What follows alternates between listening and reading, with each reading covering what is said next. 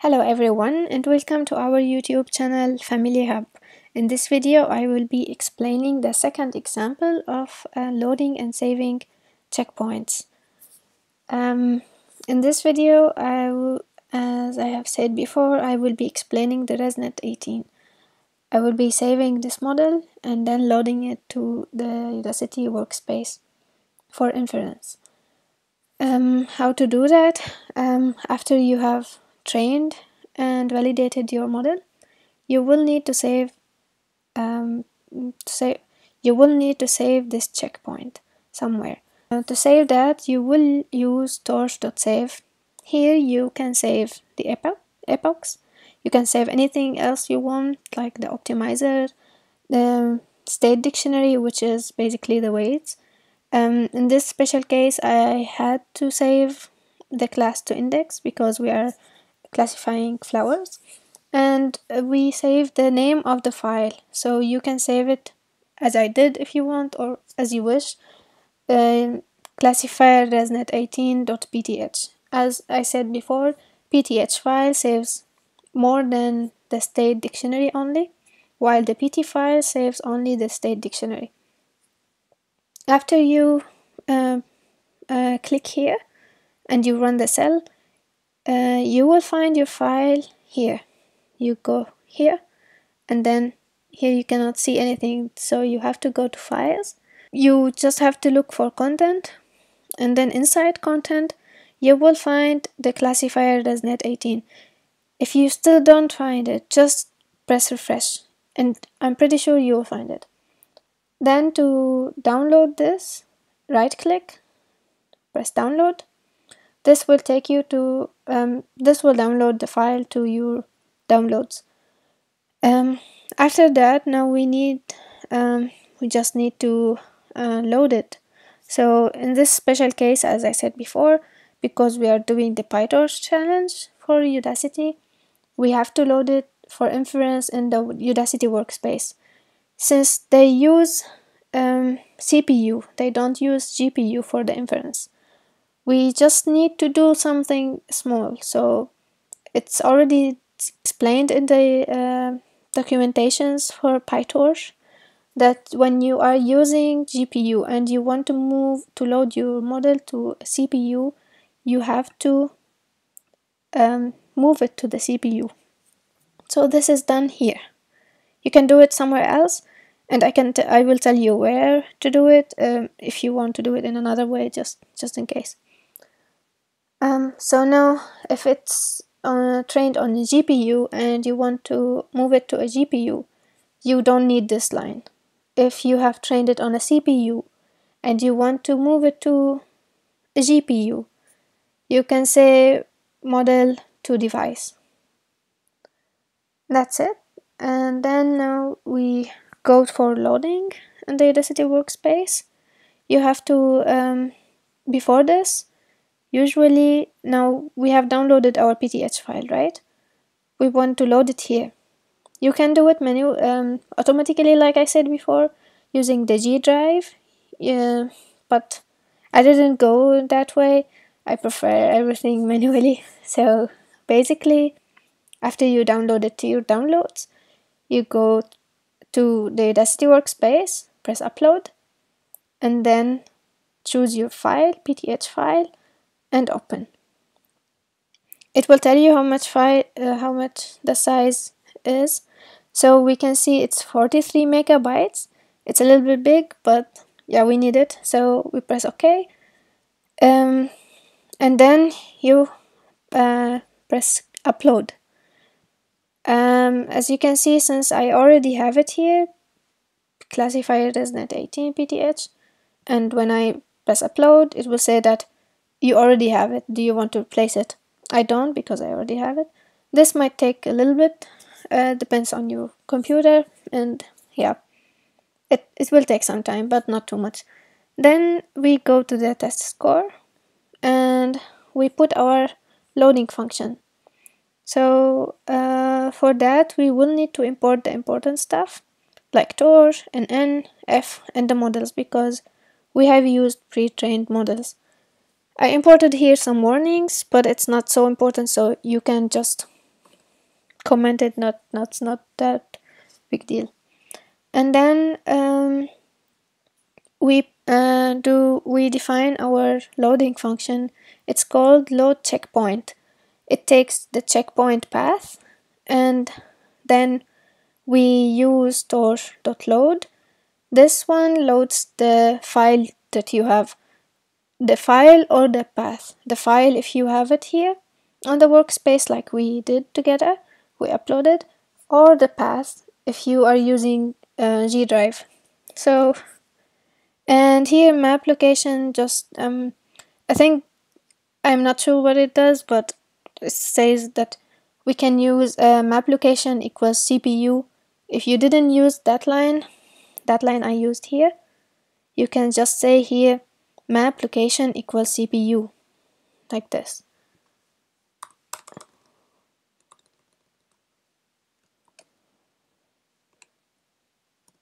CPU okay?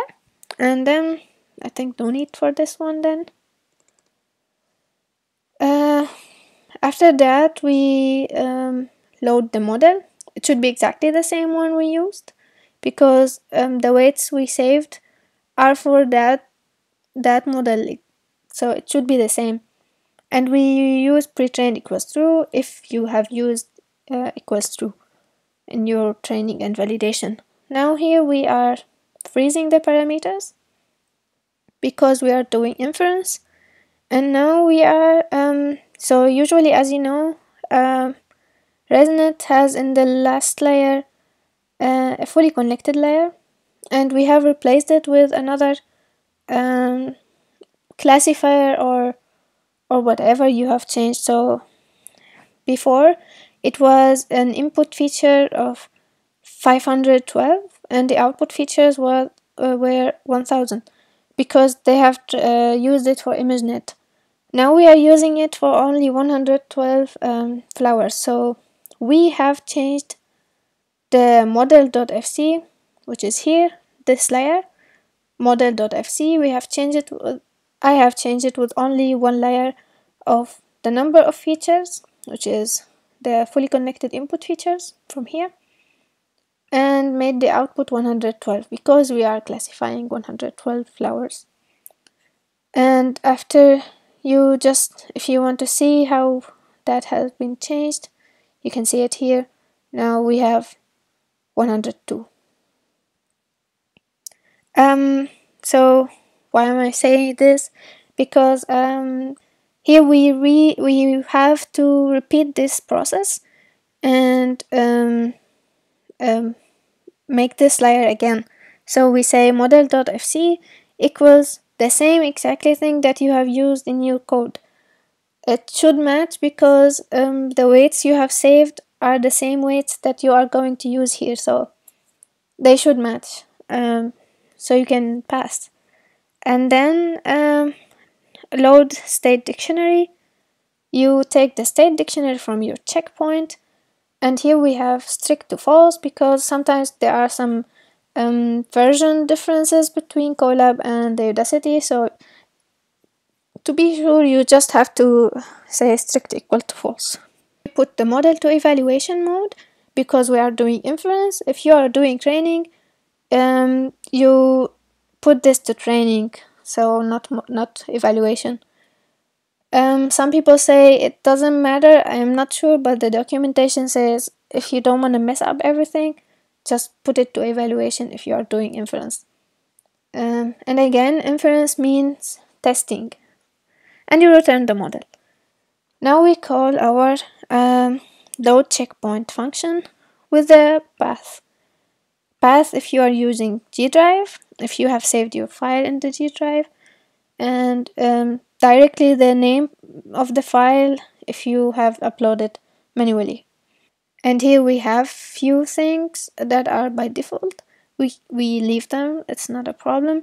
And just my in my opinion it's better to have a print line just to make sure that you have uh, finished downloading and finished everything um, some people have uh, been complaining that um, for example they have downloaded the model for the first time. They have seen the, these two lines but then in the next time they don't see it anymore. That's okay don't worry because you have already downloaded so it might be the case that it's not downloading again. If you are very um, worried about this just uh, refresh and um, restart the kernel and run again and then uh, you will have um, you will be downloading the model and then it's done. And now let's test the code. It will take some time and we will be back together. Now as you can see the test passed model was scored successfully.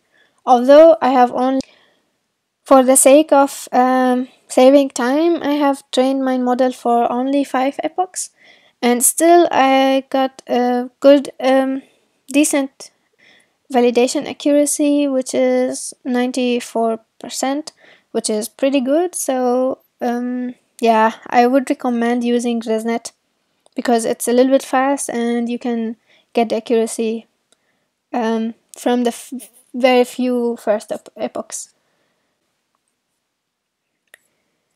Um, to sum up, I will be just um, showing the steps that you have to do when you load the the checkpoint.